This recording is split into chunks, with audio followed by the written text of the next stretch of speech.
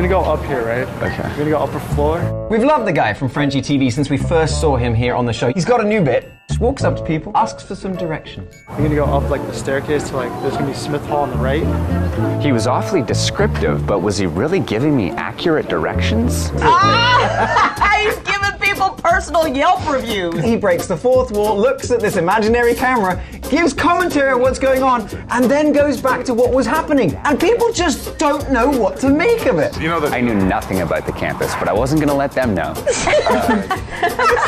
Wow. He's so good at it. I know, he does these hilarious asides, goes straight back to it. Yeah, yeah, I, You know, uh, I'm really you know where, familiar. uh, Freedom Square is.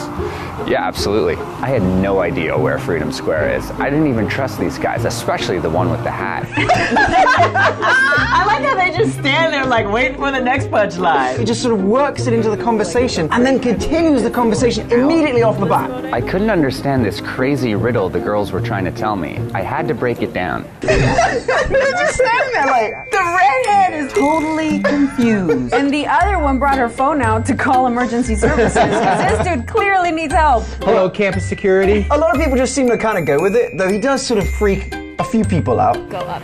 Those were well said directions, but was she a liar? Um, have you been there before? You been, you been to the library or? Yeah.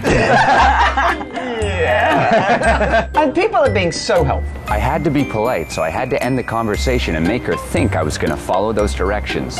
Those are great directions. I'll definitely follow them.